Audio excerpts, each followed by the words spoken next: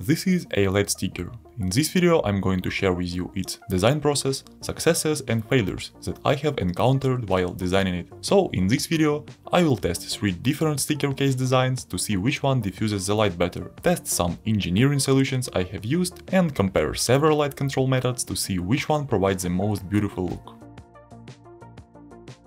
So the main idea of the design is to somehow position LEDs at the side of the semi-transparent case, illuminate them with a specific control sequence and eventually apply a sticker with a cool illustration on top. However, there are numerous challenges along the way. The primary challenge was to make it as thin as possible, while ensuring it would work for 4-5 hours without needing a charge. And I must say choosing the battery was quite a headache. I conducted some research and found that there are modern ceramic batteries that are extremely thin. Unfortunately, I couldn't find an option to purchase them online, because only several companies produce them and they're quite expensive. Ultimately, I settled for lithium polymer batteries. They aren't as thin as ceramic ones, but offer high capacity and at least available online for a reasonable price. The next task involved charging this battery. After considering various options, I decided to use a Type-C connector with a small charging IC. After all, what else should I use when even Apple has started using Type-C? Consequently, in this design, the height of the connector became the primary limiting factor. I couldn't make the case thinner than the height of the USB connector, so I based all my calculations on that. Finally, to control everything, I used a simple 8-bit controller. And to encapsulate and protect the electronics inside the case, I designed a third board with cutouts for USB connector and the button. As you can see, all the parts are quite simple. They can be easily manufactured and 3D printed. Alternatively, if you don't have a 3D printer or don't want to deal with the breadboards for electronics, you can outsource machining and PCB production to one of the professional companies like PCBWay, which is a sponsor of this video. They kindly 3D printed and CNC machined these pieces for me and also produced the required PCBs. You can order boards from them in just 5 minutes using the instant quote option, which only cost 1 bucks per PCB. Link for them is in the description. So after getting all components from the PCBWay, I immediately started assembling process.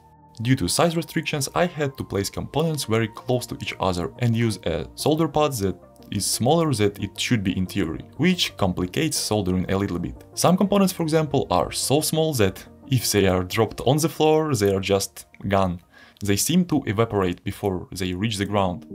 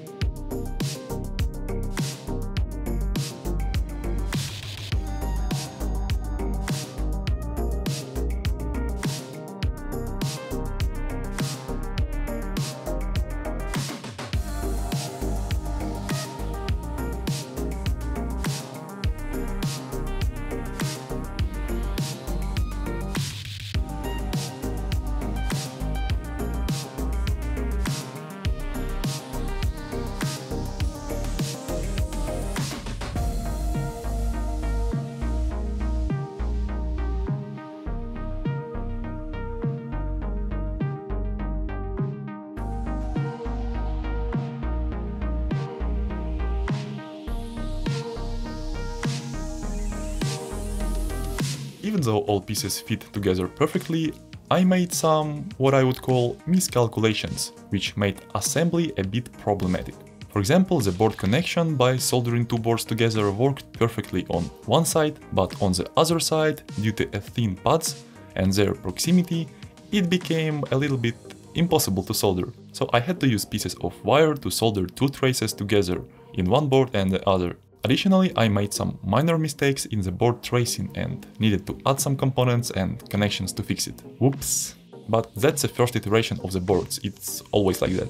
I'm really surprised I didn't make any crucial mistakes that would make PCBs unusable, because that's a common practice. Now to make all this device alive, MCU should be programmed. As I said, to program the microcontroller, I used an ISP interface with 6 pins. The problem was that the MK2 programmer I bought had a 2.5mm pitch, while I needed a smaller one. As you can see with the first prototype board that I assembled, I simply soldered wires to the programming pins, and that was it. However, soldering it every time to a new board wasn't very convenient and was in reality very uncomfortable. So I decided to make an adapter that would connect two headers. So I just soldered connectors together with wires and carefully poured all with epoxy.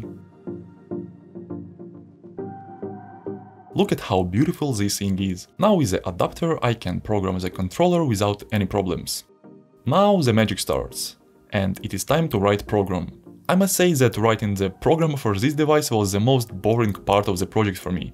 I spent several full days to write it and fix all the bugs, but eventually I was happy with the result and can show you what it can do. As I said before, the control of the board is done using one single button. If the button is pressed long enough, the device turns on and provides all its functions. Regimes can be changed by briefly pressing the button again. Pretty simple control scheme. When the device is turned off, it goes into a deep sleep mode with almost zero power consumption, ensuring that the battery does not discharge. At this stage I have created only 3 regimes for each design. Each sticker has its own unique colors. I wasn't sure which design would look the best, that's why I designed three different ones, two 3D printed cases and one CNC machine. I hoped that different designs would somehow produce varying light reflection patterns, and as you will see later, they did. For example, the beehive pattern creates a cool 3D-like image due to a light reflection. Even though the pentagon is hollow on one side, the light reflections from side walls create a 3D effect when viewed from the other side, so it looks like some pentagon pillars. Unfortunately, I do not have a sticker that matches this pattern, because I didn't know that it would look that cool. But in the future definitely this knowledge can be used to highlight specific parts of a sticker. Next is the one with straight cuts. It works similarly, giving the image a 3D appearance, but a different one. Also, when looking at it from the side, the sharp transitions can be seen, which could be used in some designs. But in this one, it just doesn't fit. The last and, in my opinion, the best option is the monolithic case. Why is it the best?